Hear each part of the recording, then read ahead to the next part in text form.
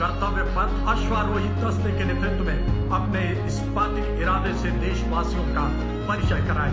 सलामी मंच की ओर अश्व शक्ति हमेशा सर्वोत्तम।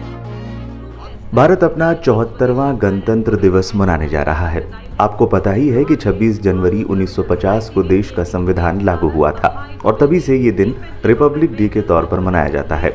दिल्ली के राजपथ का नाम बदलकर कर्तव्य पथ रखे जाने के बाद पहली बार वहाँ गणतंत्र दिवस समारोह होगा और इजिप्ट के राष्ट्रपति Abdel Fattah el Sisi chief guest होंगे।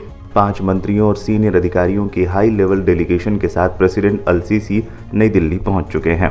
ये पहली बार होगा जब खाड़ी देशों में से एक इजिप्ट के राष्ट्रीय अध्यक्ष गणतंत्र दिवस के कार्यक्रम में मुख्य अतिथि के रूप में भाग लेंगे।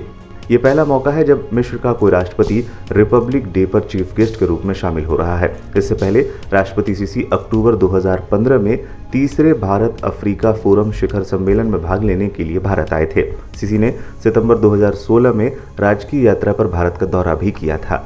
भारत में गणतंत्र दिवस के अवसर पर आए मुख्य अतिथि का विशेष सम्मान किया जाता है। उन्हें भारत के राष्ट्रपति के सामने गार्ड ऑफ़ ऑनर दिया जाता है। कैसे चुने जाते हैं मुख्य अतिथि? गणतंत्र दिवस पर मुख्य अतिथि को चुनने की प्रक्रिया छह महीने पहले ही शुरू हो जाती है।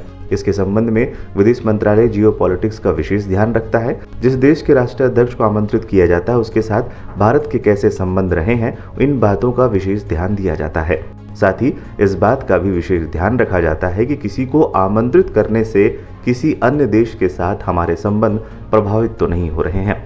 इन सभी बातों पर विचार विमर्श करने के बाद विदेश मंत्रालय चीफ गेस्ट के नाम को फाइनल करता है। इस बार मिस्र के राष्ट्रपति को क्यों चुना गया?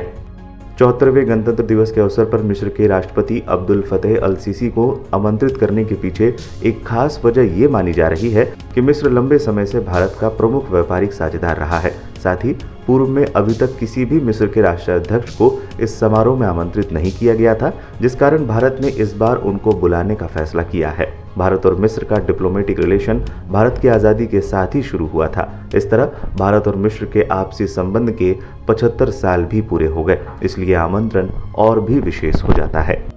भारत और मिस्र के बीच रिश्ते हमेशा बेहतर रहे हैं, लेकिन आपको जानकर हैरानी होगी कि मिस्र की आर्थिक स्थिति बहुत ठीक नहीं है।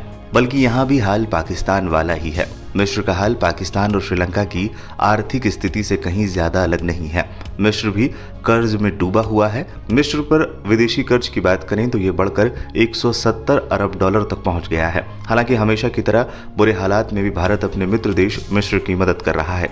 गेहूँ और चावल की भारी किल्लत से जूझने वाले मिस्र को खाद्यान्न संकट से निकालने में भारत ने अब तक पूरा सहयोग किया है।